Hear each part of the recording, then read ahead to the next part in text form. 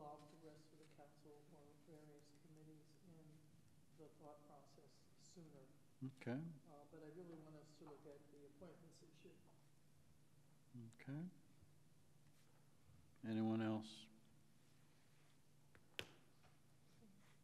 Mandy? I think that's a good one to look at. Um, I actually have some other things I think we thought, I think we might have missed in the appointments issue.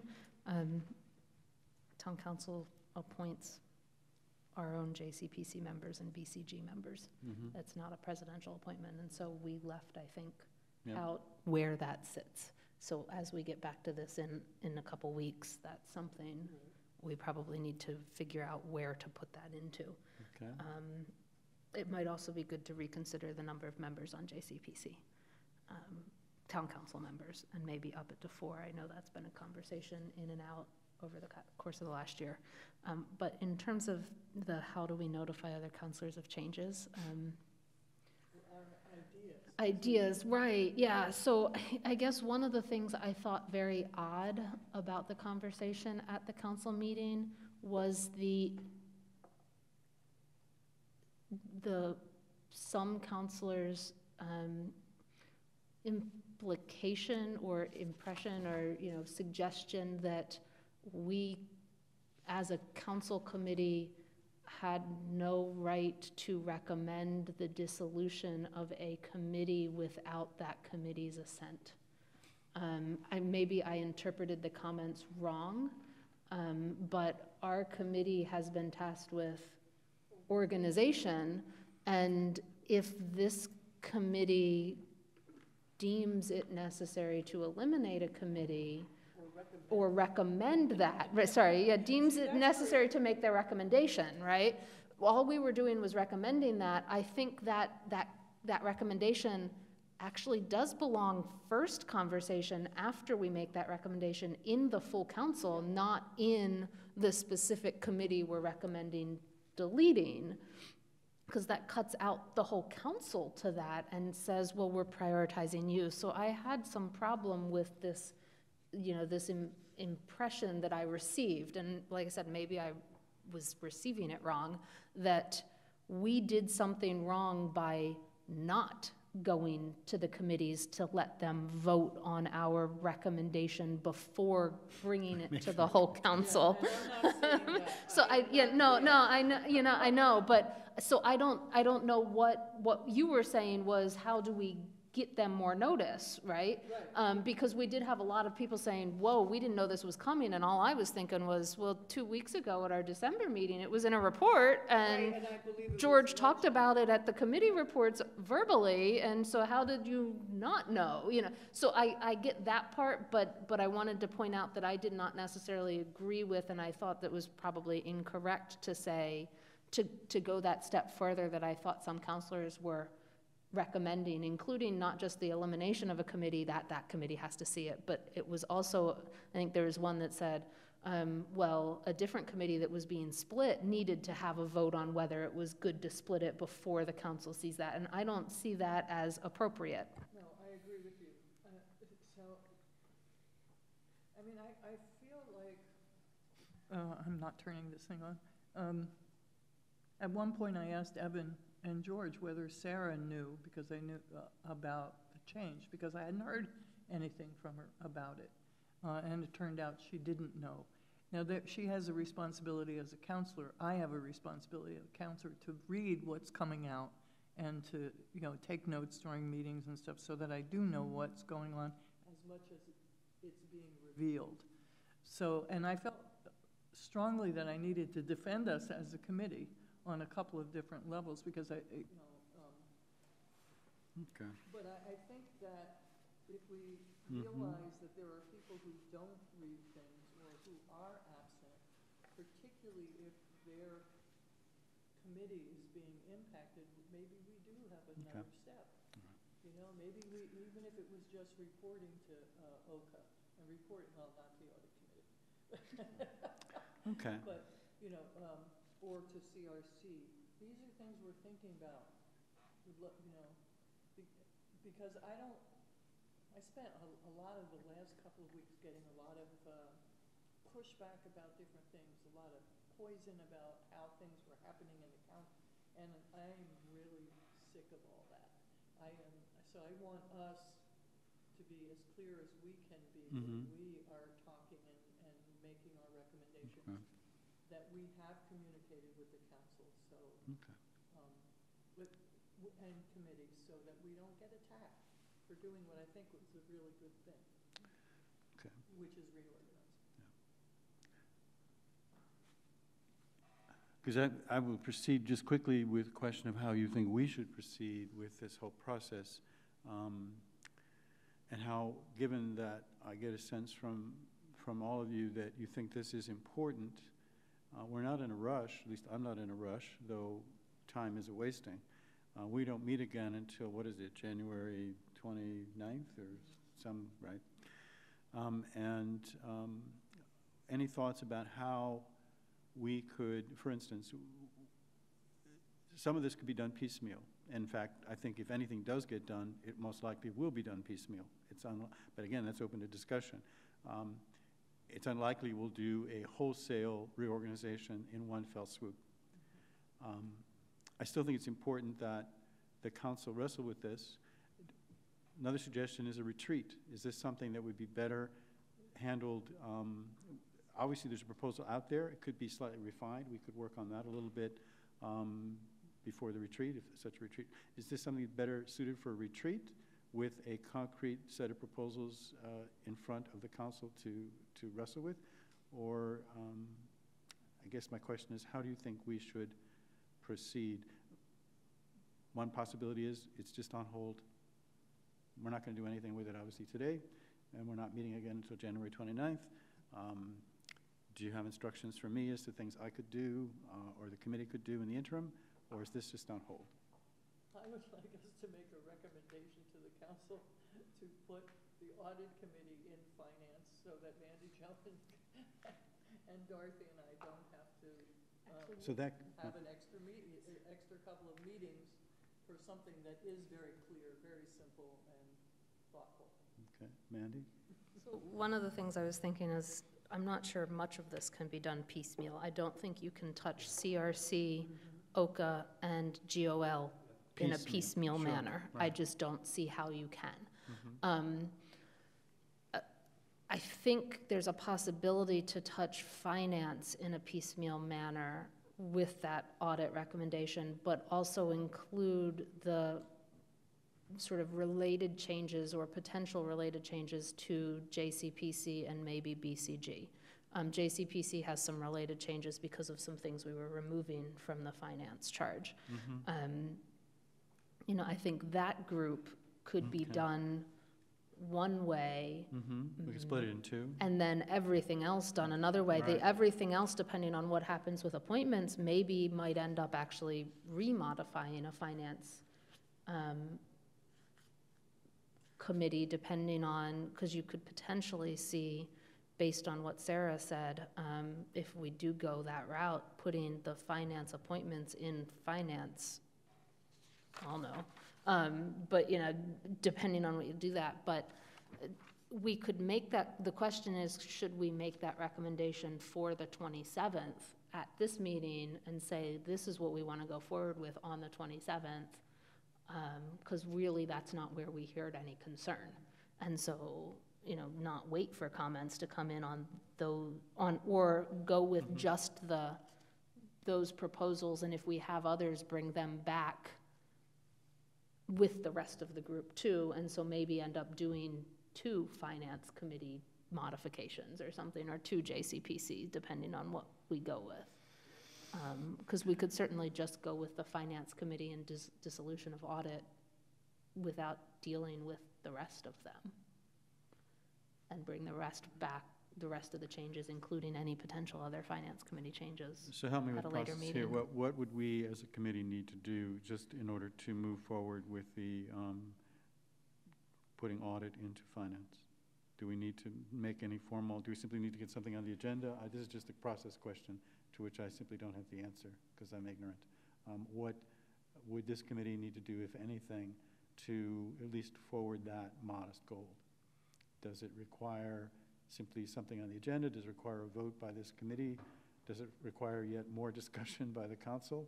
Um, Would this, uh, since we've had a quote-unquote first reading, but, yeah, I don't know. Anyone have any thought? I mean, I'm looking to you, Mandy, again, but, Well, I, I was just going back to my notes from the last meeting. We haven't actually, as a committee, voted on what we put forth yes, exactly. on the 6th. Exactly, So I think if we were actually going to seek council action on the 27th, we should vote today on something, um, so that there is a recommendation from this committee. And I guess that vote could be as narrow as we recommend audit be dissolved and um, moved, you know, its responsibilities moved into the finance committee.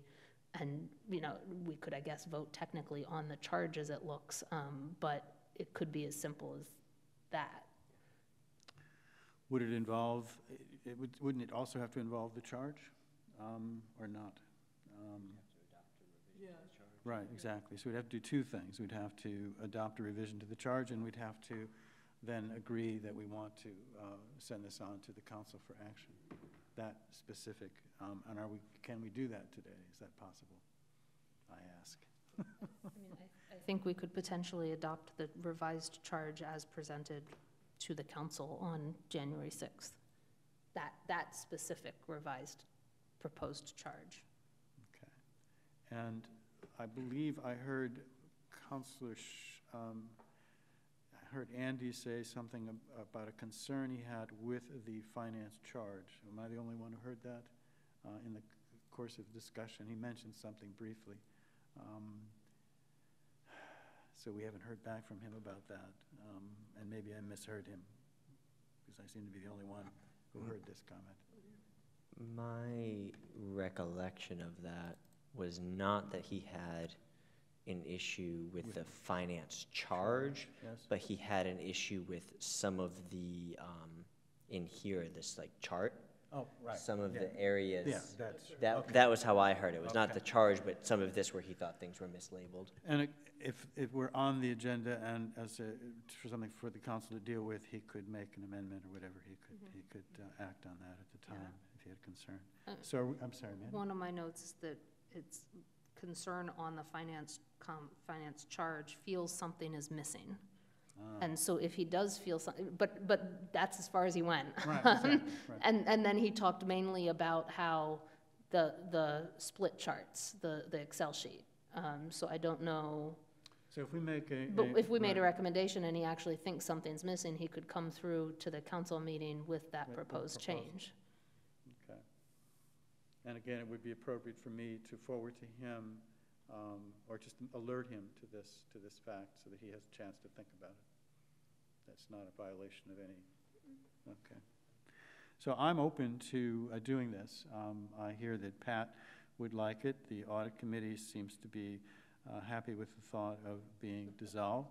Um, So, um, can someone construct a motion um, to that effect, so that we could, I um, apologize, I have to respond to this email, this text, and I'm, okay? So you're doing two things, that you're, you're doing two things at once. I I apologize. I have trouble doing one thing at once, but anyway, that's okay. Um, That's all right, I'm, I'm, I can, we can have a moment of silence, a moment of peaceful quiet. No, no, keep going. No, no, Mandy is working on the motion. I'm working up And language. I think it is important that we do this uh, for a number of reasons. Um, First of all, we actually would be taking a small step toward what we think is an important goal of reorganization. And given the schedule, if we wait, it just pushes things even further down the road. Um, I don't know if it's possible for us, um, I'm just talking here, but to deal with JCPC, um, because you'd also mentioned those two. Is that something that we can tackle now? But let's deal with one thing one I first. think we could avoid the JCPC for now Okay. because the JCPC already had some language and it actually conflicted with the finance committee charge um, Okay. in terms of its language onto who could be members. And so it would be updating that one to actually adopt the finance committee language, but Okay. if we're looking at changing, but, but right now, it- faint, we're not in violation of that charge, given its language. Okay, And I think that was the only change to the JCPC charge, right? that was needed. And That- was there one yeah. other you mentioned that also needs attention? Uh, JCPC? Well, I said JCPC and BCG um, BCG, right. appointments, because the council, not the pre- Right, council the president, is the yes, appointing right, authority. and that I So had, that, that would right. be in GOL or wherever we Right, that- deal with that's us, appointments. That's us, okay. So I, I have some potential language. All right, good. If you'd be willing to uh, make that motion and read that, that would be Um, great. Move to recommend the town council dissolve audit committee, move its responsibilities to the finance committee, and adopt the revised finance charge as presented at the January sixth, twenty twenty council meeting.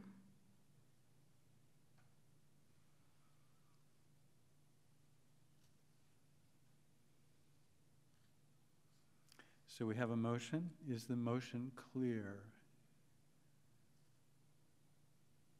Do you need it repeated? Because I can have Mandy repeat it. You think you got it? Thank you. We have a motion. Do we have a second? Second. Okay, I'm gonna, Waiting for Evan to do something. that's all right. I just need a second. You're Um, chair. I figured it would be symbolic if you seconded it. Okay, so we have a motion symbolic if the and it's chair been, made it, but and it's we're been seconded. audit. Who's gonna set the January Right. Any further discussion of this motion? I see no uh, expression of desire to speak further, so I'm going to call the question. All those who uh, are in favor of the motion, please raise your hand and say aye. Aye. I see a unanimous decision, so it is five zero um, unanimous for this motion. Thank you, that's great. Um, Just quickly, going forward beyond this, is there anything you would like me as? All right, he's, he's no longer on our committee. Anything you want me to do, or anything you think that the committee could do in the interim to, I've heard the thought of reaching out, so for instance, I'd be perfectly comfortable um, reaching out, sort of on my agenda this month anyway, because it's a new year, to do my usual sort of round of, you know, hello here, uh, do you want, I can do that? Um, Pat? Well, I, I, I feel like the reorganization that we're, um, talking about for CRC and T, uh. TSO? Is, is a critical one. Okay, Um, and I also, and so, to me, I would like us to move forward today to clarify what we're doing and bring it to council. Um, I'd like to clarify the appointments issue as much as we can. Um, I think putting all appointments in GOL and making us goal is just gonna feed a lot of nonsense that's out there. sure, no, I, Um, I don't have a problem And so that, Sarah's plan seems Yeah, sensible. I- I liked it. don't wanna back away from this. okay. I really don't. I'll say the one comment I've gotten so far, and there's only one comment, is that um, this councilor would prefer that this be done at a retreat.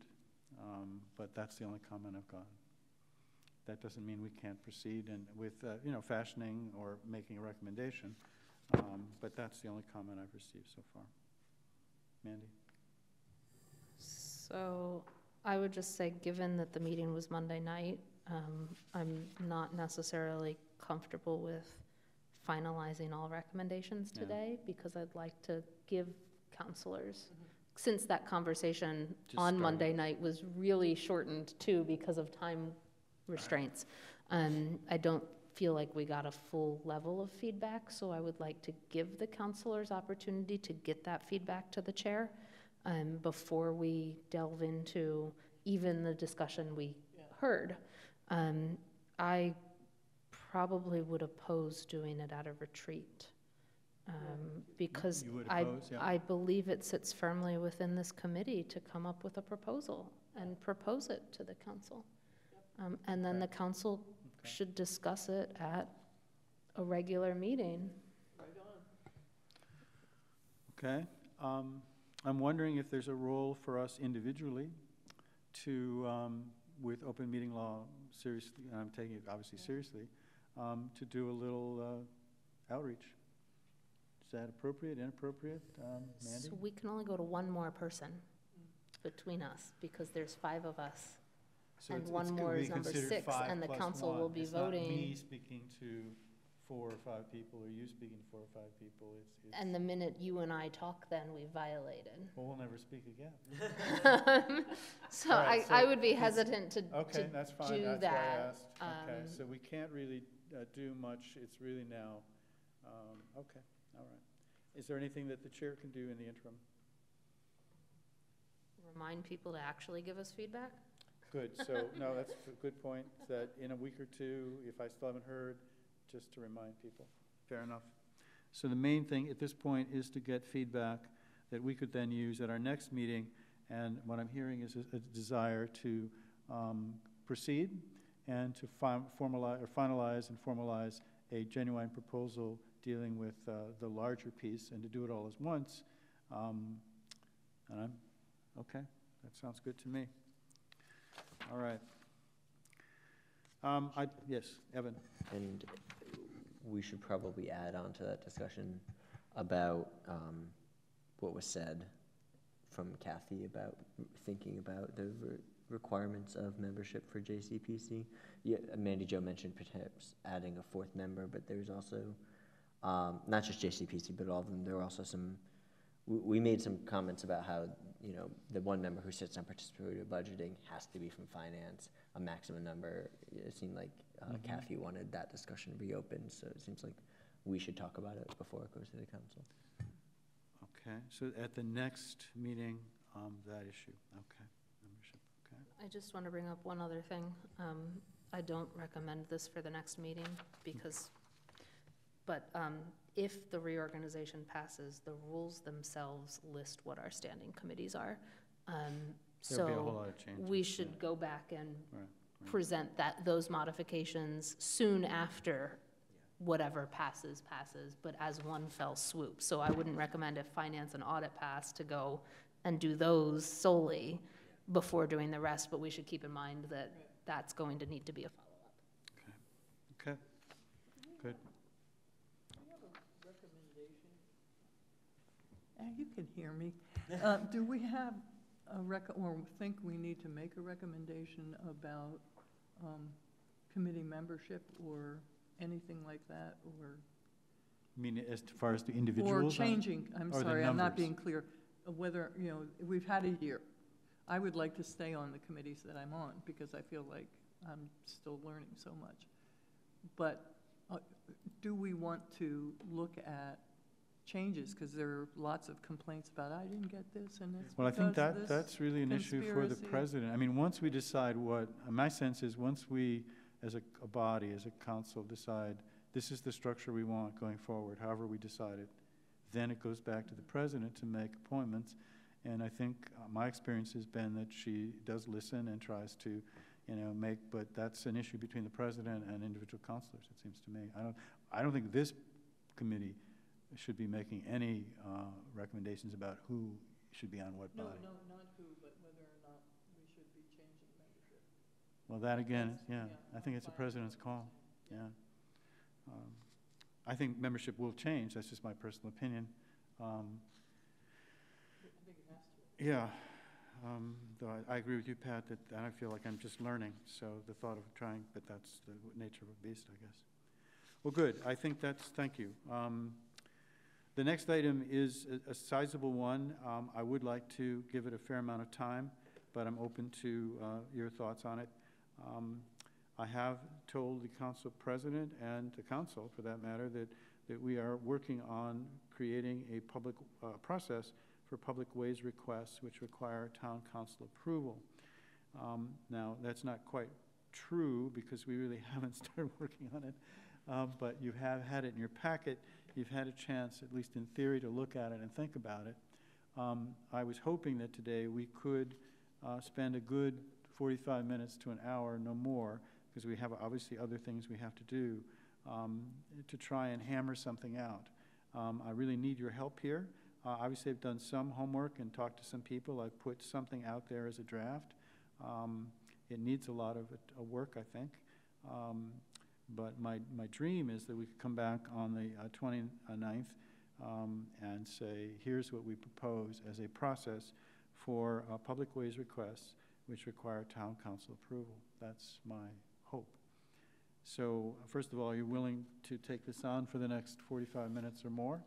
Are you uh, uh, ready to do that? Um, And if so, I'd like us to, uh, to turn to that issue.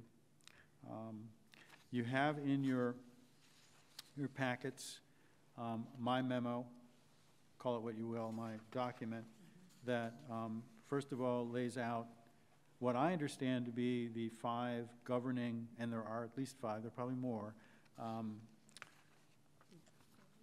laws, charter, bylaws, policies, rules of procedure that deal with this.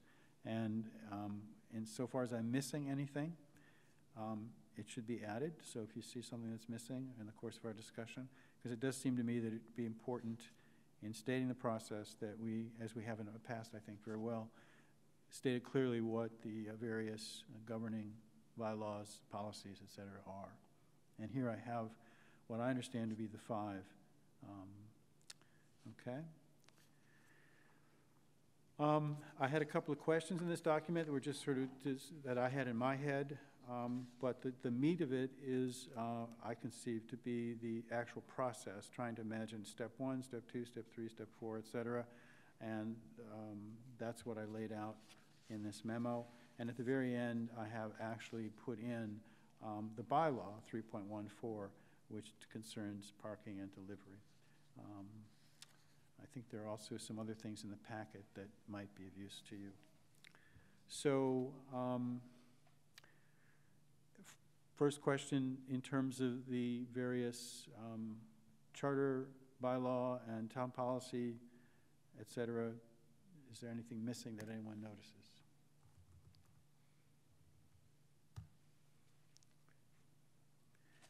Secondly, um, not hearing anything. Um, I had some series of questions, some of which I think I've gotten answers to, but you might have other questions about this whole issue.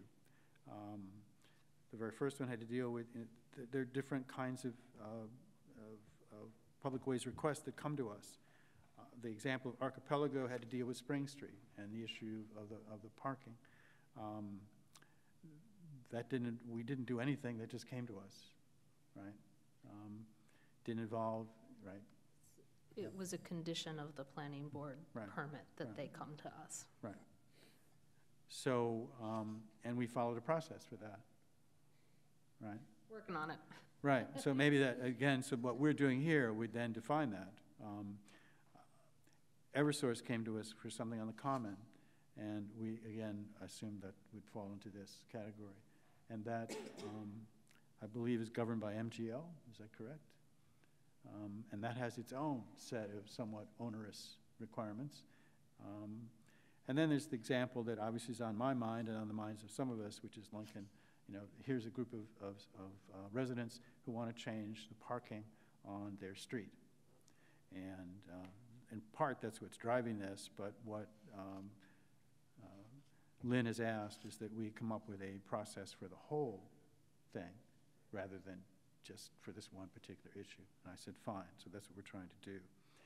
Um, This seems to be working fine, generally speaking. Um, But, so we don't, I don't want to, I don't think we want to um, make any major changes to the way the town has been dealing with this. But we do, I think, have a, a, just a, a a clear question of what is the process? Can we spell it out? Um, And then finally, what triggers it? Um, Can anything? tr- I mean, what, what's the, what's the barrier for, uh, you know, if one person wants to change the parking on their street, or one person wants to have a speed limit changed or whatever, that, that doesn't necessarily trigger anything, right? So what is it that gets this process started? Some of it's, I take it, determined by Mass General Law, or in the case of Spring Street, by the planning board. We don't have anything to do with it. Um, That's just what the, what has to be done. Um, So what triggers uh, this? Okay? And then there's the, the- the suggested process. So how do people want to deal with this, or do they want to deal with it? Man, that's all right. And It's, um, we could take it step by step, um, in terms of, imagine, you know, any process would involve this first step. Obviously, a petition comes to the council in whatever form it comes, whether it comes, um, from the town manager, um, whatever. Um,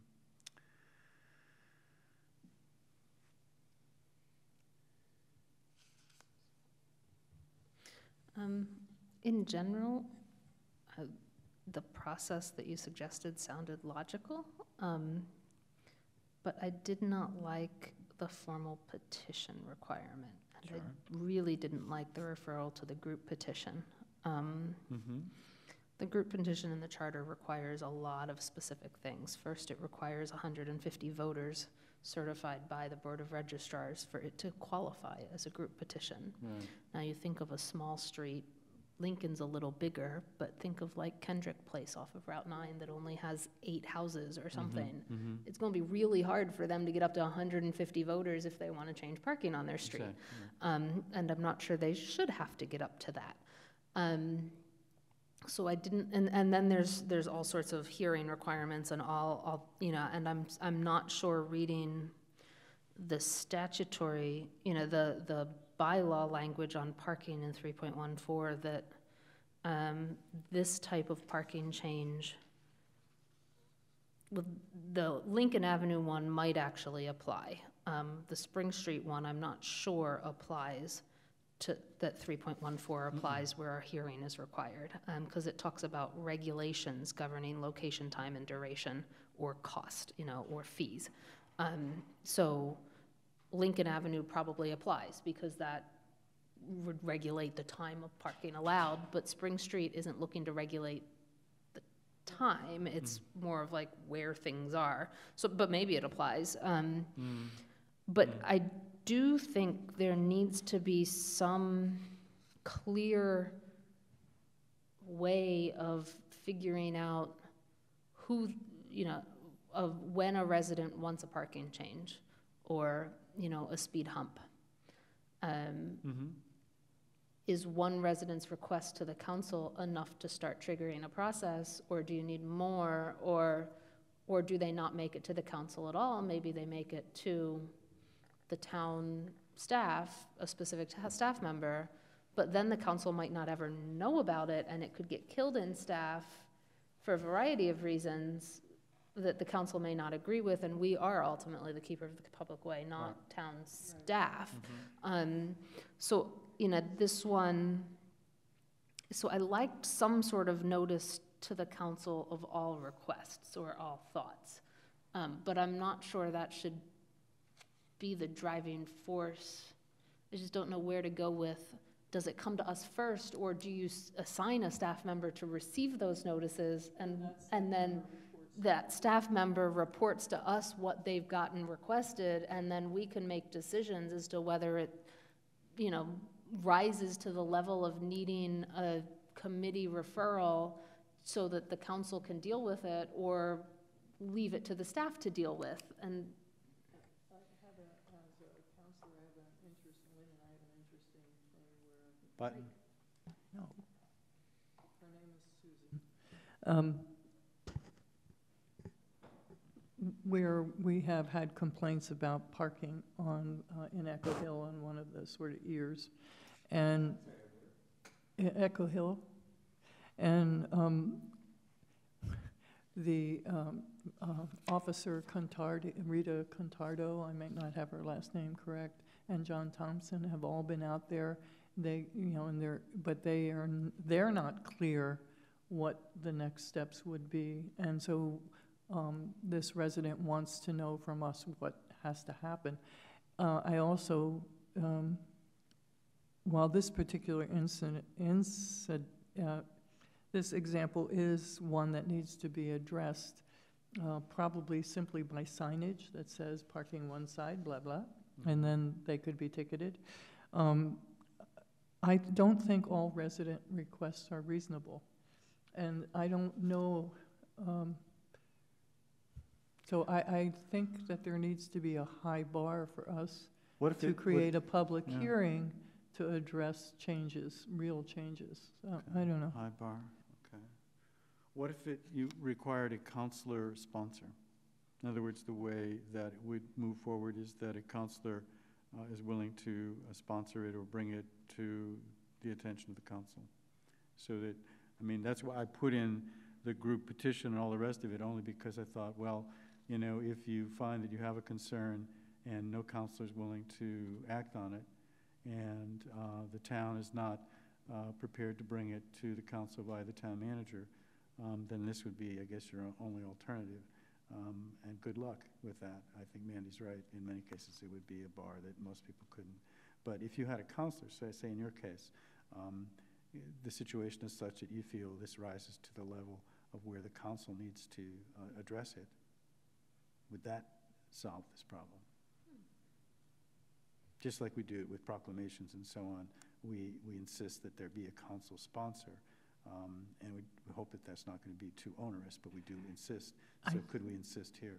It, it puts individual councilors, uh, when a request is frivolous, uh, it puts them, um, at odds with their constituent, Right. um, and, or they bring something frivolous to the council. So uh, I'm not sure how to deal with that. Um, Steve?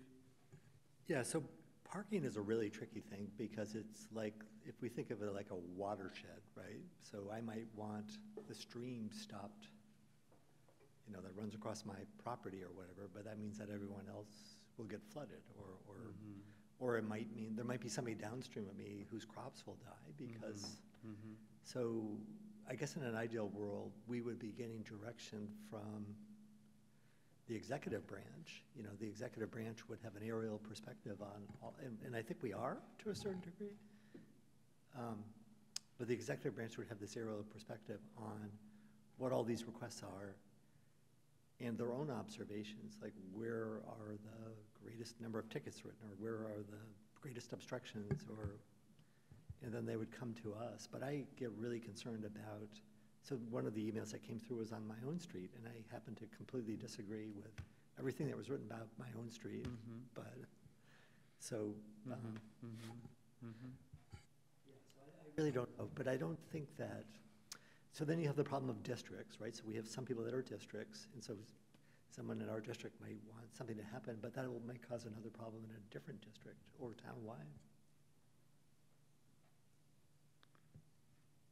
this is not necessarily going to help, but um, I get complaints of, I mean, District Two runs on the whole east side of Amherst. We kind of cover every kind of neighborhood you could imagine. Um, And there are real feelings that different parts of town are tr- really treated differently. Um, Like Lincoln will get taken care of Sure. before issues on Stanley and Sure, stuff like that. Sure. And that's something we also need to look at, and um, doesn't quite fit in with what we're talking about. But how do we address some kind of equity in, you know, that's why I like your idea of a list of where are the most problems? Um, Where, you know, where are the reported problems? Because that gives us something uh, fairly concrete to look at instead of just, okay, this is a really good organization of uh, neighbors, and so they're gonna get what they want. Mandy? So what if we use the automatic referral option? You know, I, you know, in- in looking at the suggested process, there's, right now, I feel like the problem is no one knows how to actually get it in front of the council unless the town staff supports it. Mm-hmm.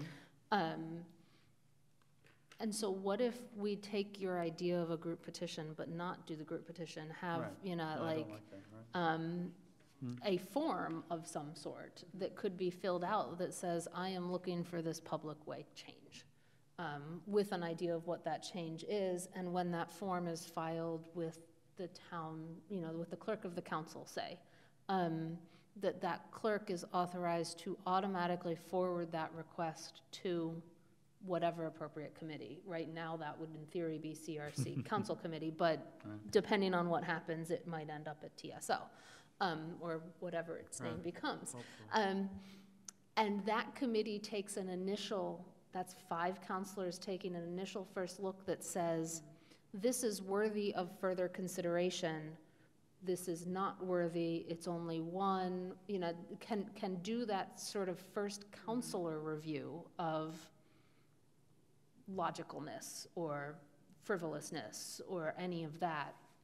A very basic review, not a full hearing on, is it good or not, but is this worth more research, more investigation, more town staff time put into it, and more councilor time put into it? Um, and then could come back to the council with a recommendation in a report that says, we're gonna hold it to see if anyone else has issue, you know, if we get more, we think it's important enough to rise to the level of sending it off to the town staff and TAC or whoever to actually look at it, or you know what? We're not, we, we recommend we just essentially throw it in the trash bin. Mm-hmm. And, and tell the person that made that petition or, mm-hmm. or complaint that we don't, you know, no, we'll get back to them and say, this, this is just not something we believe n- is worthy of consideration right now. Um, and then, depending on what happens at the council level from that, then you can sort of start with, then you're at sort of the four, five, six, seven. Um, You know, but, but you're, the council's on, are we ready for a public hearing? Probably not. But that can be the referral to whoever's appropriate, potentially back to the council committee or not. Um, And then it comes back and goes through sort of that public hearing process, the regular committee process of referral, once you've got town recommendations or other committee recommendations, and then sort of, you know, I don't know whether this is the right order or something, but then it goes into it, but it's at least not, that it, the council itself has had some sort of say in whether it moves forward or not. And that might give clarity to the residents of what to do.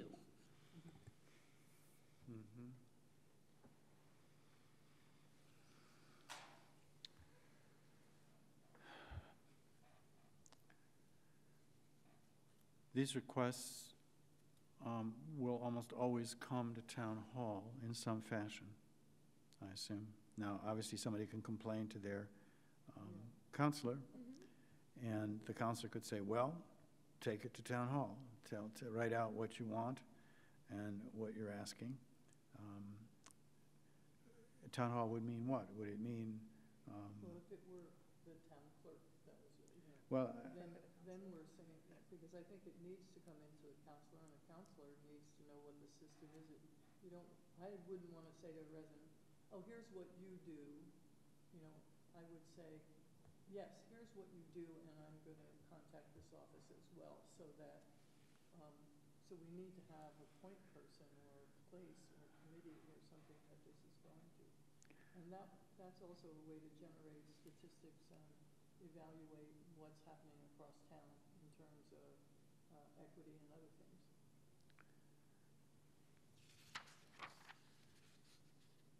I'm thinking about examples. Um, Spring Street, the Eversource on the Common, these sorts of things are done, um, don't involve us at all, and they are negotiating or dealing with specific folks that they deal with all the time, and then it comes to us via the town manager and is put on our agenda. Um, And I don't see that, that we are going to try to um, change that process or have anything to do with it, right? So what we are trying to construct in parallel with this, but is essentially any kind of public ways request that, um, how do you want to put it? Um, Basically, is it constituent-driven, um, local district-type issue? Is that really what, I mean, I'm just trying to get a sense of what, because there are a whole bunch of things that we have nothing to do with, and they get to us, and we deal with them, and we're not trying to have, touch that at all. I think it's the constituent resident-driven ones where they're frustrated mm-hmm. and they want some action, and we, as the council, are the final body, but no one knows from the resident-driven perspective how to get it to the council. Right.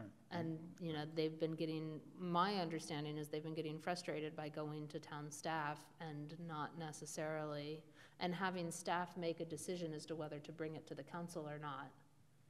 Without their involvement, and they want their day in court, essentially, in front of the council, um, without always having to rely on someone in staff supporting it.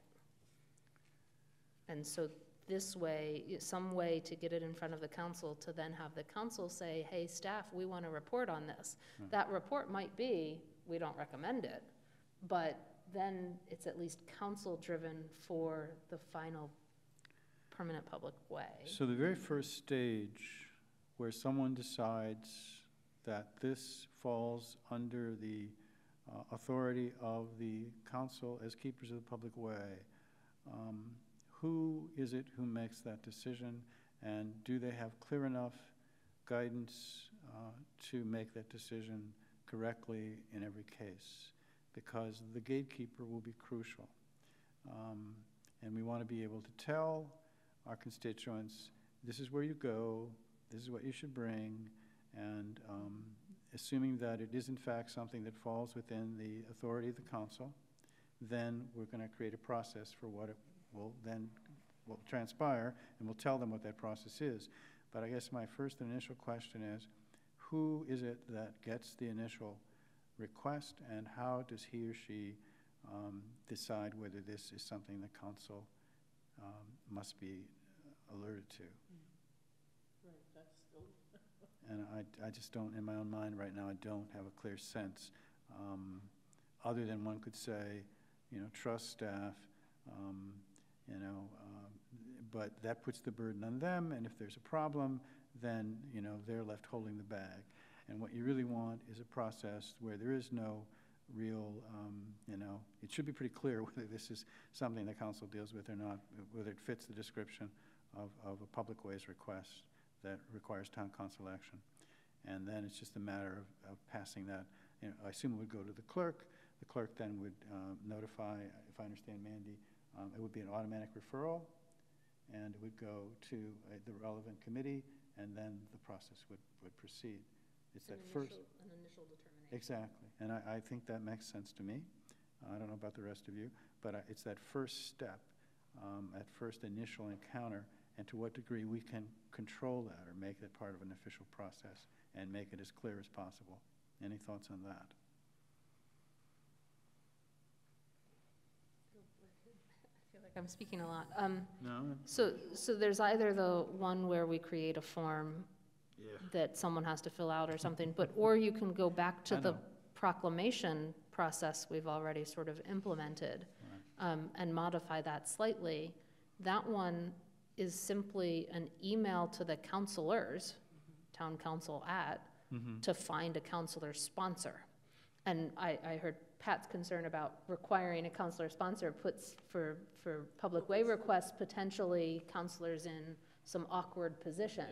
Um, but if they email the full council and it says, hey, I want to change on this street in parking, that could then be deemed a public ways permanent request that then gets automatically referred to the appropriate committee for that initial vetting of, do we want to spend more council and staff time on this? So instead of requiring essentially a councilor sponsor to bring it forward or the group petition process, it requires a committee sponsor um, to, for, to get further action. Does that, I mean, that, that's sort of what, and that committee would be, say, say we don't change committees and CRC gets it, they go to, it goes to CRC for a ten-minute conversation of, is this worth investigating? And that, and that then comes back to the council with a yes, it is, no, it's not. We haven't received enough res- It Complaints about it. More than ten minutes, I mean, and I'm not being No, yeah. saying that. Um, But we're, n- we, this, the initial conversation would not be getting into the specifics of, is that the right response? Is, is, you know, think of Lincoln, they want that.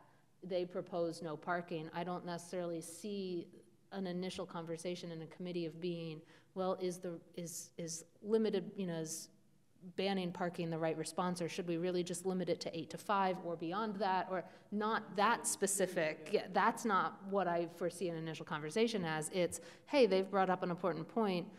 do we foresee pa- parking on Lincoln to be bad enough or enough people complaining about it that staff time should be devoted to investigating it?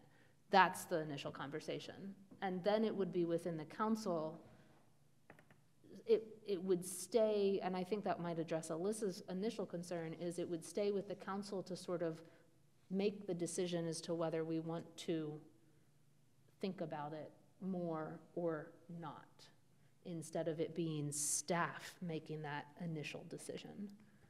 There, there's a, right now, generally speaking, people contact Paul Bockelman and they contact uh, Guilford Mooring. Right. And then we, when they're either not given any responses, or they're given responses they don't like, then they contact the councilors. Right. And I guess I'm, I'm sitting in here wondering, how do, then, if we decide something has merit, then, then we contact DPW and we tell Guilford Mooring, you do this. We tell Paul. Yeah, who tells him, is that the purview, how did, how would that, hmm, I'm not sure what my question is. I'm Well, you're describing two different ways in which a request could possibly get started. One is, and I think you're right, it's generally, they send an email to Paul, or maybe some of them will send it to Mooring, or both. Um, That's the usual way it probably happens. Then the question becomes, what do they do with it? Do they um, make the decision, well, this is, and I I assume they could easily do this, this is a, falls within the purview of the, of the council, so then they would um, take, uh, they would alert the council, or they would alert the clerk, and, or, and the process would start to a referral and da-da-da-da-da. But that puts the burden on Bockelman and Mooring. And if they are busy, or they lose track of it, or they just decide this is frivolous, and they may be perfectly right, um, and they just ignore it, um, then, as you say, people, some probably would then go to their councilors, hopefully, and say, I never heard. And then you would uh, reach out to Bockelman and, and say what's going on, and now you would be involved, and eventually it would get referred again. Um, The question is whether uh, you want, are we comfortable with towns, uh, you know, the manager um, being sort of the gatekeeper here, um, and trust that, that he will uh, alert us in all appropriate circumstances, and, and then if he doesn't, uh, trust the process that anyone who really cares about this will then reach out to the councilor. Is that adequate? Um, Mandy's suggesting, if I'm understanding her, and I may not be, that maybe if we had a form, or if we said to anyone that came to us, send an email to the town council, blah, blah, then you now have an email that everyone gets. And who's gonna act on that? I mean, uh, so, guess I'm asking you, I mean, who, I mean, I would look at it and I would just go, well, that's not my district. Right. Or I'd look at it and go, that's my district, and I wouldn't touch it with a ten-foot barge pole. So what happens? I guess that's why I'm saying an automatic referral to a committee for an initial vetting. Right. You know, so that it doesn't, So what triggers that is the email. is the email, yeah. And who actually makes the referral then? Um, is it uh, the president, or, I mean? Well, it automatic means the email would trigger the referral. So So if there, it if it goes goes to to CRC, TSO, say, Or whatever, right, uh, I send in a thing, okay. uh, and it to Paul and to George, who I'm not gonna elect next time because he's not helping me with his street problem. I absolutely, I support you there. Thank you. That automatically goes to TSO, and TSO begins the process. Okay. Is that what you're saying? What I'm saying is they would begin an initial vetting of, Yes, but that's the beginning of the yes, process. yes. And all the resident needs to do is, though most of them will not do this, they will reach out to the town manager and/or their councilor. But in theory, the process would be, all you need to do is send uh, your request to this uh, email address. That's all you actually need to do. Um, di- Is that, yeah, Yes, I know it seems kind of crazy. That's all Um, right. I mean, we're ju, right you know, we're just, If, crazy if they good. reach out to the manager and the manager actually does something and comes up with a proposal, which is sort of where Lincoln Avenue is, I think, right now. That's correct. Um, then looking at George's suggested process, I think we're at number four. It goes on an agenda similar to anything else that comes from the town staff. And Goes on an whether we want a agenda, and we decide whether you know, we get a presentation as to what it is and all of that, and decide, is it ready for public hearing, or is it ready, f- or is the better thing to refer to a council committee, or back to the manager, or Right. say, no, we're not gonna do this at all. You know, it starts that sort of process right around that number four, um, and all.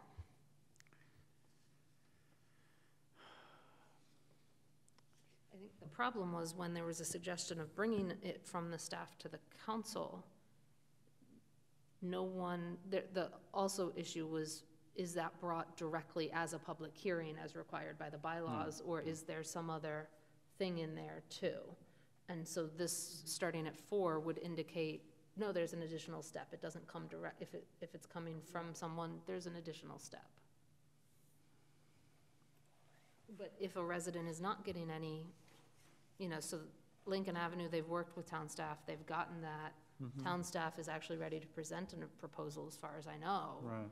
That's, you start around number four. If they're not getting any action, um, you know, Pat indicated something in Echo Hill where no one's really knows what the next step is, then an email to the council says, hey, the town staff don't know what to do, I'm reaching out to you, I want to change because I'm having problems, then it goes to CRC, and that then gives town staff potentially guidance on what to do and, and that, yes, yes or no, pursue this.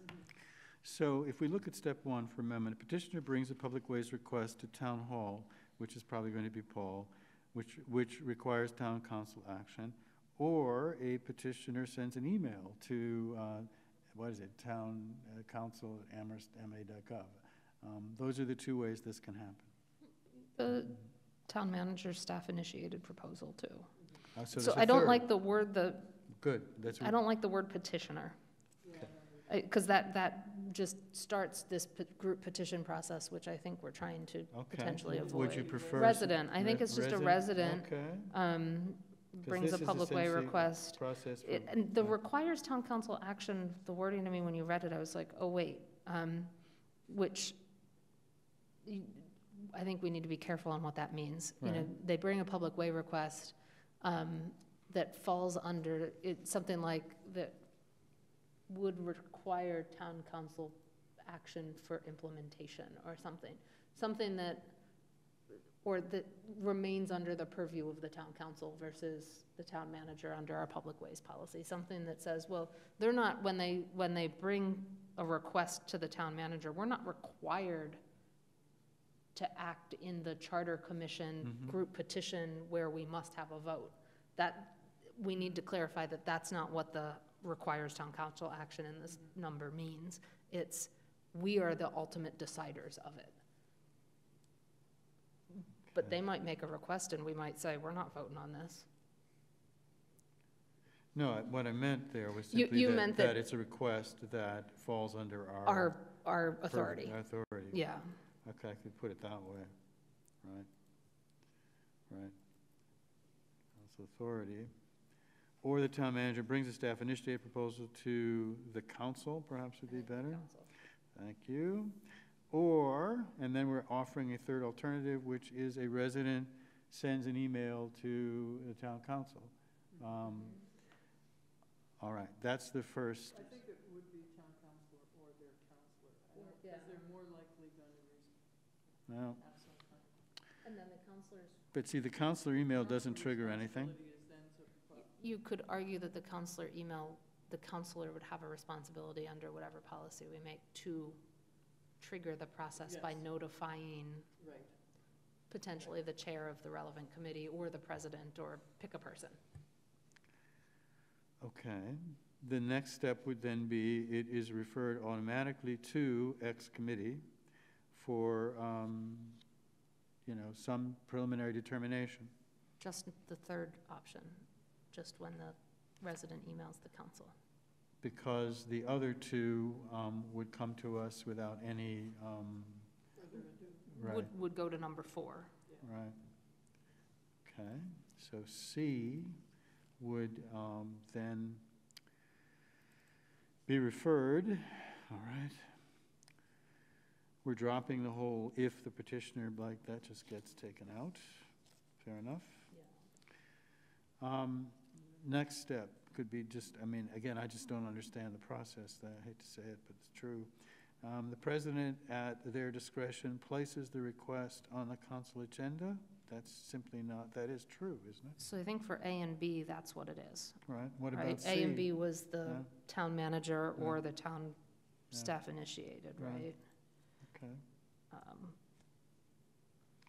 And for C, then, the president um, places the request on the council agenda? I mm, mean, how, this is just, yeah, I, I need help here. Yeah, no, I think, so, so go back to number one, you had three options. Right, A, B, The C. first option starts a process with town staff. Right, The second option, the staff has already initiated a process. right, And the third option is the resident goes directly to the council, right? right. So for the second option under number one, the staff-initiated proposal, that goes directly to the president for request on the council. Uh, Mhm. President places it on the agenda. The first option essentially potentially ends up as the second option, right? If the staff got the request and they did something with it, Then it gets put. then right. it's Mhm. under the second option. Um, the third option would be an automatic referral to the appropriate committee for an initial review, an initial determination of further action. Mhm.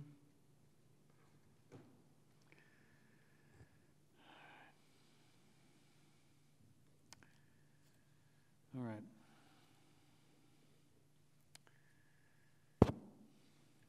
And then I, well, and then I think the further action review would come back to the council as a recommendation from the committee for what further action to take. Um, So C goes, you know, the resident initiated request to the council goes to a committee, the committee goes to, makes a recommendation to the council, it ends up on the agenda through the committee process. Mhm. Um, B, the staff initiated proposal ends up on the agenda through essentially the process we've been doing yeah, with the okay, president's right. agenda. Right, Um, A, sort of the, the brought to town hall, you know, to Right. town hall, okay. ends up to B, that potentially ends up on the agenda or not. Essentially, A turns into either B or C. Right. They either get response or they don't, so they email the council. Mhm, So maybe we get rid of A. um, Or, ac- or acknowledge that A turns into B and C. Or we simply not worry about them because this whole process is really driven by a resident uh, petition. So we would simply not even get into this whole issue of things that come from a entirely different source. It's really a question of, you know, when a resident brings a petition now, you know, right, um, maybe that's the simplest way, is just to take them out and just focus on the resident and, um, and that, what they need to do um, to have their uh, concern addressed. Let me play with that, but that's one option. And make this just strictly focused on the resident um, petition, the resident request. So one concern I have was maybe we need two different routes. Okay. Um, Because I guess what I remember from the initial conversation in the council was there was concern that staff initiated proposals would go directly to a public hearing. Right? Mhm. And so I think that's, that's where this council votes to authorize whether to, you know, to authorize either public hearing or referral, you know, type thing. Mm-hmm. Step four. Step four with the staff, the staff starts sort of at step four. So it doesn't start on the agenda as a public hearing, potentially. I mean, the Eversource ones do, but I guess that's by law. Because there's, there's some legal requirements that once they submit something, within so many days, it has to have a public hearing. So I guess that's not really this type of thing. Yeah, that's part of the issue here is whether what I'm trying to craft, and what we're trying to craft as a committee is something specific to, I mean, what Lynn has asked for is a generic process for all public ways requests that, that require town council action, which would include, obviously, these other things that we're talking about. Um, So I guess you could do a, you know, a footnote to number four that says, this process shall not apply to those matters that under state law require the council to hold a public hearing within so many days, or something like Right, that, okay, you know, all right, all something right, like that. All right, okay. Be nice if we could find a And then way in- to say all Well, And we- then in parentheses, like Eversource petitions or something. Right, no, I know, I know. Okay, um, uh, we need to bring this to some conclusion, we have other work to do. Um, I don't think my dream of hammering this out is going to come close to fruition, but, um, again, what I guess I could ask is for, if you have any further thoughts or comments, um, obviously, we do have an issue with a particular group of petitioners, and they are awaiting our response. And what the president has asked is that we come up with a process before we respond to their petition. And we're now talking sometime in February, because we don't meet again until the 29th. Um, So,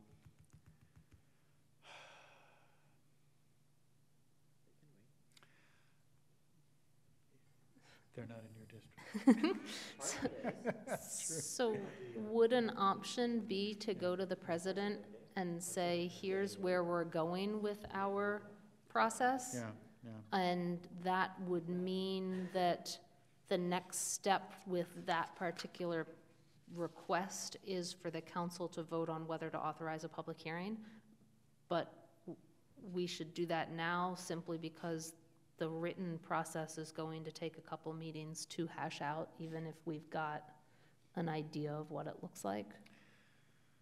It would be my preference to um, do that, but I don't know what the rest of the uh, committee feels. That, Ma- I guess what I'm saying is, if we as a committee are,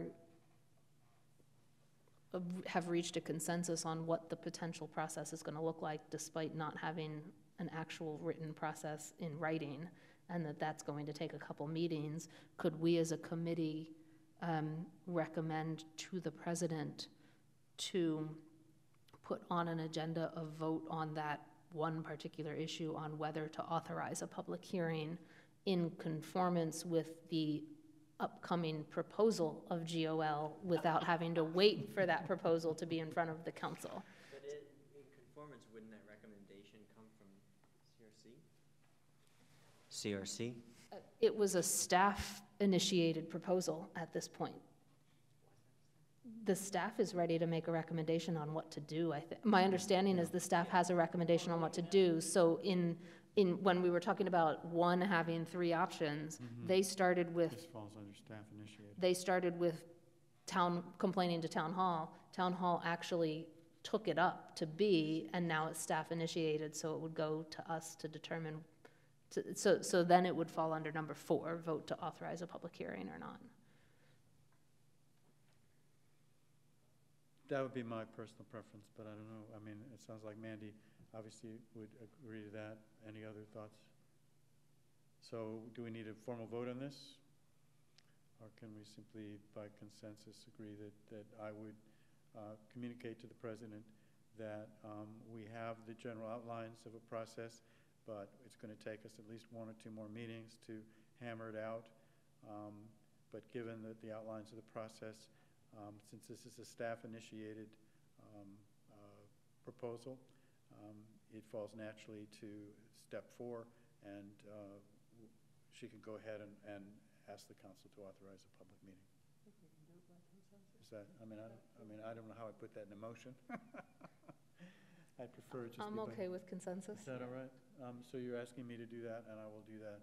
Um, And I- it's up to the president. She may, she, and when I did speak to her, initially, she felt that strongly that there should be a process before we act. Um, I will make the case as strong as I can that that process is, has a fairly clear, rough shape, but if she's going to wait for us to get this hammered out to all the i's dotted and t's crossed, it's going to take too long. Okay, thank you. Pat? I have totally messed up the time um, of today's meeting. Oh. I'm supposed to be somewhere at one. I just texted and see if that, um, they can wait till 1:30. But what I'm asking is, can we move to uh, the resolution on H 2810 next. Okay. I'm not sure um, We have um, two in front of us. Um, I think Black History Month probably could go pretty quickly. I think this second one, so yes, we could, if that's all right. And, and I apologize. All right. so let's turn then to um, review resolution in support of H 2810. I believe there are two uh, versions of this in your packet. One is the petitioners, by the way, this is coming to us um, from both uh, Lynn Griesemer and from Pat. Yeah, so you have to pay more attention. Uh, Absolutely. So we have um, their version, and then you have my very crude attempt to put it in a more formal uh, version. I call it the GOL draft. Um, s- Yeah, so you have a GOL draft with the whereases. Now, I had some technical issues with text here, but let's worry about that some other day. Let's focus, yeah. I have a change that I would like to make. Okay, um, I, I think we can eliminate the first whereas and just move, start it with whereas we are already facing the impacts of climate change. I don't think the first one works very well. I'm sorry, I have whereas climate change poses new threats, that's The the, Massachusetts right, right, you want to eliminate that. I think so, because I think in some ways it's embedded in the other, or it should come second. But I wouldn't mind feedback on that. Well,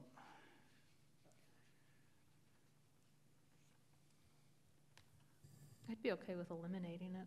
I'm sorry, what? I'd be okay with eliminating the first one. Yeah, it doesn't, it doesn't feel necessary. The second one sort of gets at that. Yeah. Exactly. okay. Okay, good. So um, the first is to eliminate the first whereas. Um, The title, is that sufficient? Uh, Resolution in support of passing H period 2810 colon, and then an act to promote?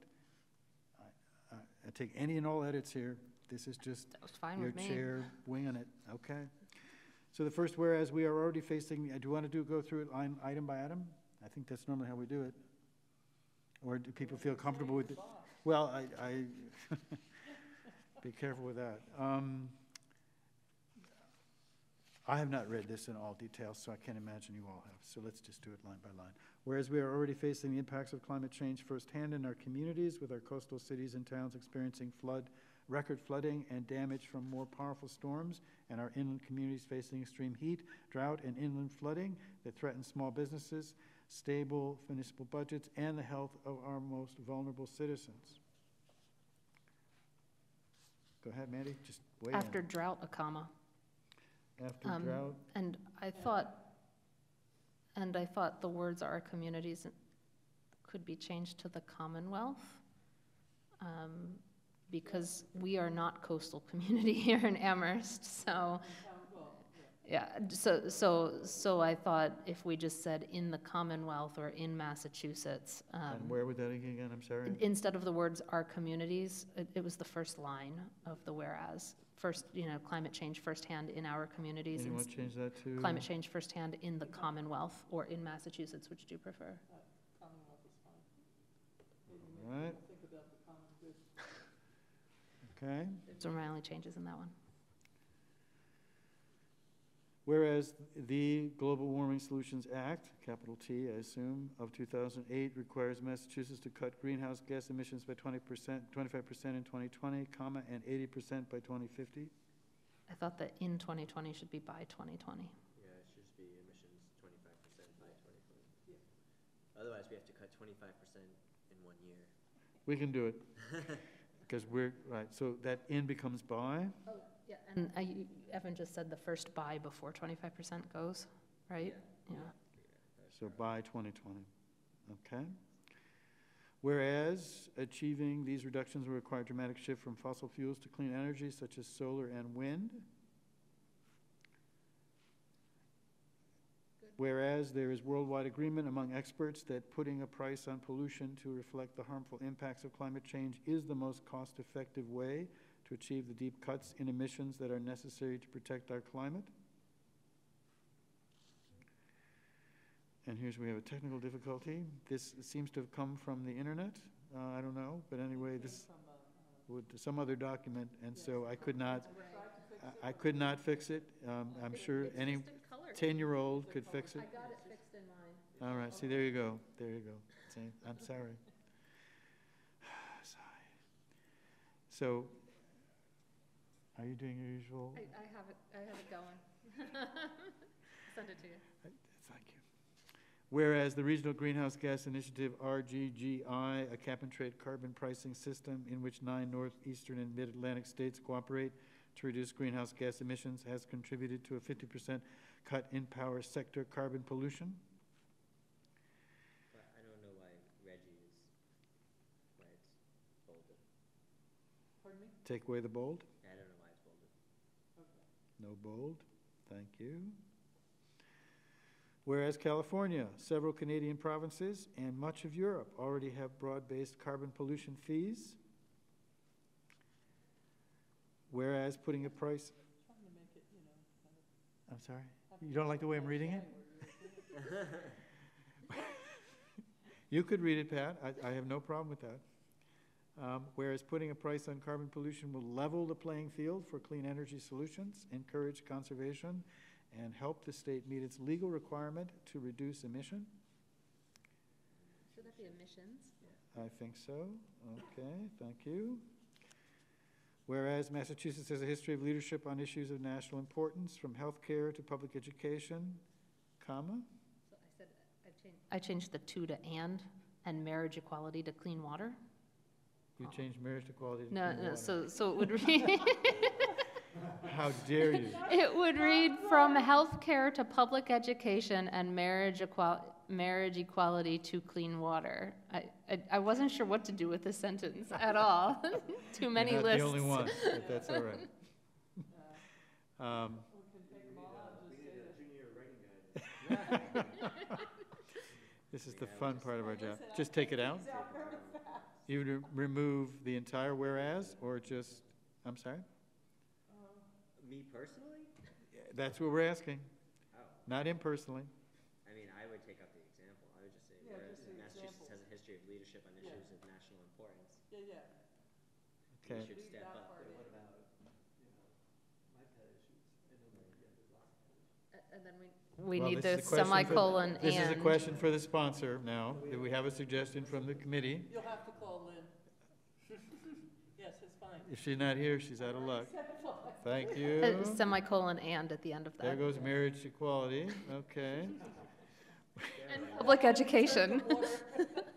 You'll pay a price for this in two years. We should step up by meaningfully addressing one of the most pressing challenges we have ever faced, colon, Oh, oh. climate change. s- Yes? So I, I thought it was a separate sentence, because Massachusetts has a history of leadership on issues of national importance. Whereas they have think it would that, be so colon and Yeah. whereas, I, I just created a new Go whereas. for it, kid, that's fine. Um, The sponsor has spoken. So then it was whereas we should step up by mean- All right, meaningfully so a second addressing. whereas, all right, Yeah. why not? Once upon a time, we made a comment about keeping these One sentence. short. And sweet. Yeah, I, I guess that's not grounds for rejection. Whereas, if we are to counteract these threats, we need to, we need comprehensive funding that invests where it matters, colon, reducing fossil fuel use in our buildings, parenthesis, to increase energy efficiencies and access cost savings from heating and cooling with renewables, close parenthesis, comma, clean transportation, parenthesis, to electrify, electrify our bus fleets and increase access to regional mass transit, close parenthesis, and climate adaptation, parenthesis, to fund innova- innovative solutions to local climate threats, close parenthesis, semicolon. take out the parentheses and just leave the, Reducing fossil fuels in our buildings, just take out the parentheses and just have, Yeah, to use in our buildings, thank you, clean, tran- yeah, et cetera. Thank you, and climate adaptation. Okay, is that fair enough? It's shorter. I'm going to go on unless I hear an objection. Whereas H point two eight ten, an act to promote green infrastructure and reduce carbon emissions.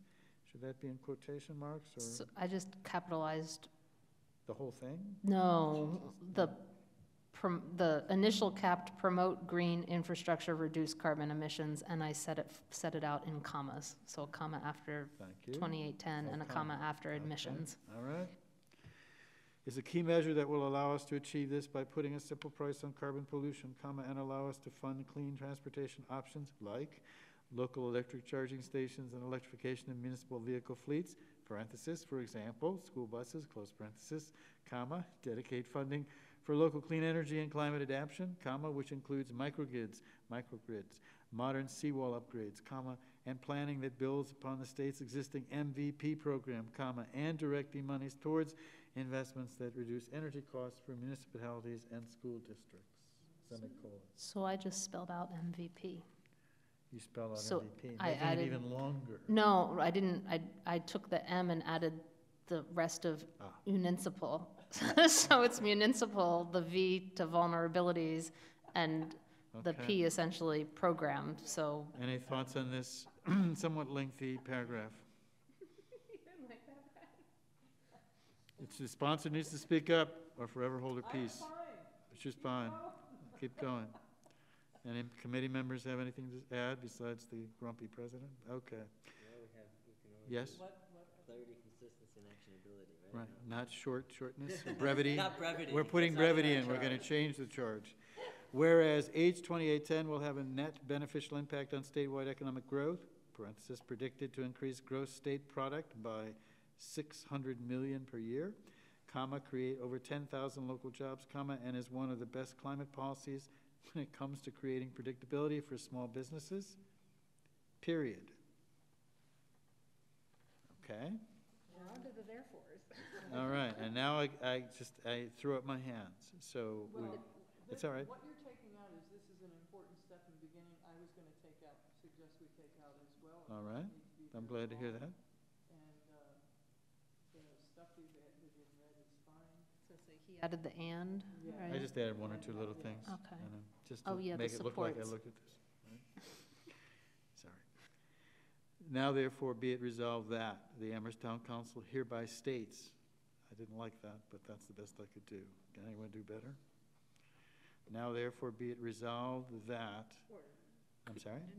Now therefore, the Amherst Town Council sta- resolves. Resolves? No, that sounds ridiculous, resolves its commitment No, to. exactly, I know. So, uh, that, I just had struggled with this part. Is, is committed to and so, Hereby Uh, committed to, I sounds better. have no idea. So now therefore, the Amherst Town Council, No. no, I think it's, now Be it therefore, be it resolved resolved. that the Amherst Town Council is committed to, And supports? and is committed to and supports, Yeah, Why, why can't it just be supports? is committed to, or is committed to the passage of, or supports the passage of? Yeah, why, why, Why do we need the why do we need commitment? the committed to? Right. So supports the passage oh, I see what you're saying. of H two eight ten? I know, it's up to the sponsor. Um, Now therefore be it resolved that the Amherst Town Council Go with whatever's simpler, supports the passage of H two eight ten. yeah. Fair enough? An act to promote green infrastructure and reduce carbon emissions, comma, and we respectfully ask that Governor Charles Baker, Speaker of the House Robert DeLeo, comma, Senate President Karen Spilka, and the members of General Court of the Commonwealth of Massachusetts. Now, I have a problem with this because Charlie Baker doesn't pass it. Enact. He signs it. Enact, Uh, Enact. Could change it to enact. Um, okay. because he's part of the enacting. All of this is- was taken, this part was taken from the letter. by Yeah, well, you should talk to the letter writer about the Constitution. Anyway, enact H two eight ten in the current legislative session, 2019-2020. period. And are we okay with two f- resolves, or do we I, want? I just bolded be it further resolved Be it further and resolved created a new paragraph. I don't, was you. the paragraph already created? Yeah. That the Amherst Town Council shall cause a copy of this resolution to be sent to Governor Charlie Baker, Speaker of the House Bob DeLeo, and Senate President Karen Spilka, and the members of the General Court of the Commonwealth of Massachusetts, with a copy to the Massachusetts Municipal Association, comma, communicating the council's support of House Bill H2810. Period. I could have said that in a lot fewer words, but that's okay. Well, next time you write it. Absolutely not. I just look at them. Any other further edits, changes, comments? I think we're ready for a motion. I move that we ex- Declare. Declare the resolution clear, concise, actionable, and parentheses. Clear, consistent, and actionable. Yes, thank you. We have As a motion. And we have it seconded I'll second. By Mandy, thank you very much. Further discussion? I see no interest in further discussion. Call the question. All those in favor of the motion signify by raising your right hand. No. And, and saying aye. Left hand. Aye. aye. All left opposed? Hand. Left hand. Left hand. Why left hand? Because my right hand's got a pen in it. All right, fine. Raise your hand. The vote is, vote is unanimous, 5 0 thing, not for voting. And you just have to raise something. We have a second resolution. Pat, you're free to go if you need to go. Thank you. Um, I have to, no, I can't go. I just want to make a quick, I have been having a recurrence of Crohn's disease, oh. and that's why I've been missing. I'm fine. Okay. I'm getting back to remission, but that's why I've been missing things. No. I no, you can't apologize for that, Pat. That's just hope it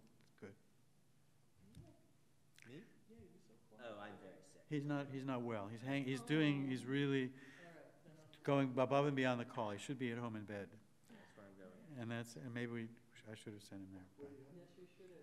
I think it's just, I actually think I'm. He'll give it to you if you'd like, but you want to find out first, Leah? I'm glad you're between, I think it's just a head cold. between us, George. It's Too late. Whatever he's got, I've got, so Evan should have warned me earlier. Yes.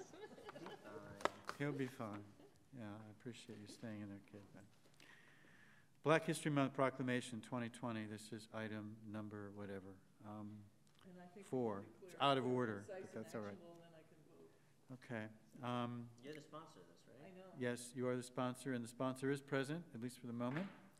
And she Uh, says it's clear, concise, and actionable. She likes it, sponsor likes it. What were Mandy's edits? Mandy I has had some edits. three, Thank you, just Mandy. three. Thank you. One of them in the second to last whereas needs the and at the end. That's the- correct. The semicolon and. The now therefore, I thought if we knew the time of the flag raising ceremony, we should put the time in. So flag raising ceremony will be held in front of Town Hall on Saturday, February 1, 2020 at, I don't know what time it's at. But we normally put the time in. Um, So Okay. when we, I think Pat's looking it up right now. Okay, Oh, we need to figure out the time. all right. Um, and then in the one, two, three, four, five, sixth whereas, there are two sentences. And so I was hoping to just combine, I think they can be combined into one. Whereas 2020 marks the 150th anniversary of the 15th Amendment, 1870, which gave the right to men of color to vote following the Civil War. And it also marks the centennial of the 19th Amendment and the culmination of the women's suffrage movement, semicolon. So you'd, you'd put a comma after war, and then the word and, and uncapitalize the word it. Thank you. Okay, Thank you. final small edit at the very now, therefore, I think that dash shouldn't be there. In recognition of African Americans past and present. And I, I'm not sure what to do with punctuation there, actually. Oh, comma, past and present, instead of In our dash. community, comma, all No. In recognition of African Americans, comma, past and present, comma, in our community, or comma, th- that's what I would do. Get rid of the dash and just put a comma All instead. right. Okay. I'm not going to fourth read one. through this line by line unless you insist. I trust Mandy. Thank you, I do too. Um, Any other thoughts, suggestions, edits? Then I'm ready for a motion. I move to declare the Black History Month Proclamation 2020 as clear, consistent, and actionable. Is there a second? Second, I'm going to call the question. All those in favor of the motion as presented, please signify by raising your hand and saying aye. Aye? Okay, is that, is that was a, okay, thank you. So it's four zero with one absent. Um, All right. We have two sets of minutes, and um, thank you to our clerk for getting them to us. And um, if you would take a moment, and just a moment to look them over, I have looked them over. Um, I had one very small change to make in one of them, but let's start with December 4th first. And I'll give you a moment to look at it. if you have any changes or concerns.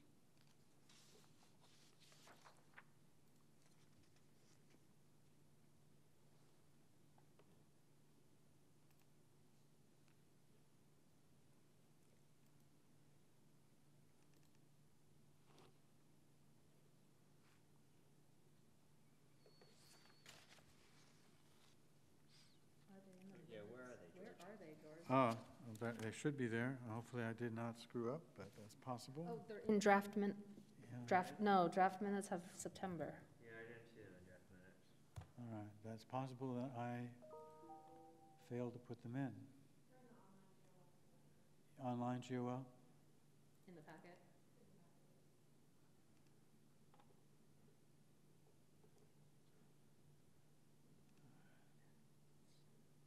So they're not there. I'm sorry, I thought I put them in. So they're in the online,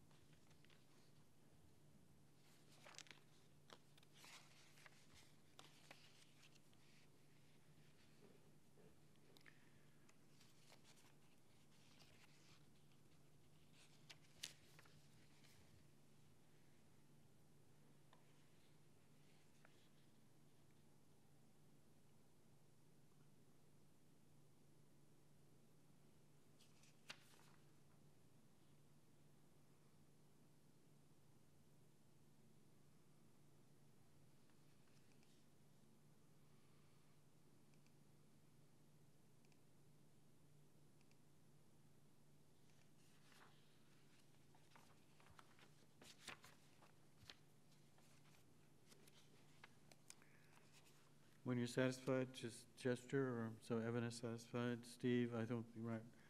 But Mandy, how are you doing? I'm good. Okay. Um, I was gonna do these both together, so, um, second set is, uh, December eighteenth. I do have one change I would propose under item four. Um, consider possible procedures for how to handle public ways requests which require town council approval. I think we should just say postponed or something, just so someone understands that we didn't deal with it.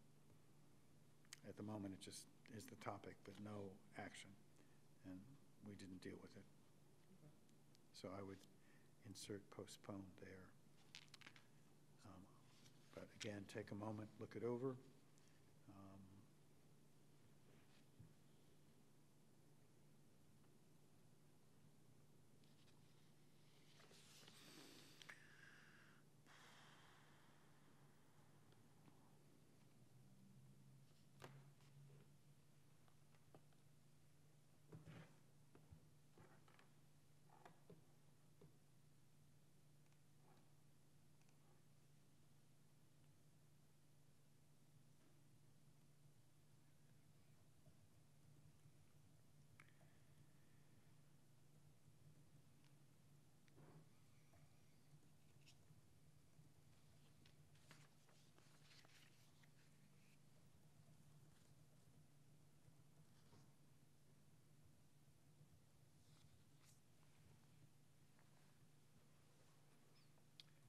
Anyone else?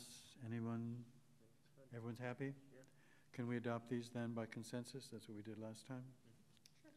All right, so the minutes of both December 4th and December 18th are accepted by the committee by consensus.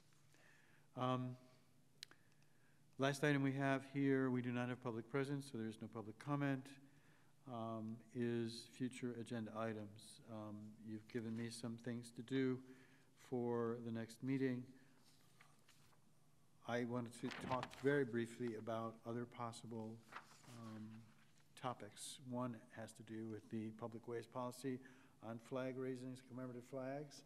That's something that uh, I could look into, because I have done some work on that, and I do have a couple of weeks before school starts again, where I could put my mind to that, but if it's not that important, I can let it sit. Um, But that's one item. Um, I also noted uh, Steve's suggestion about alternate and associate members. That's something that is somewhat dear to my heart, but I don't know if that's something he'd like us to take up, or if he's ready to pursue. I'm sorry? Yeah, well, it, it was, yeah. Is that something, are, are you ready for that or no? No. No, okay, fine. Are there other items that you would like us to consider, uh, putting on the agenda for next time?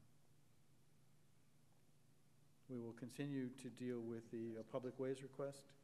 I um, think that and the restructuring. And the restructuring will keep us more than busy? Yeah, Fine, fair enough. I- that'll take a while. All right, good. So I have nothing further, there's no new business unanticipated.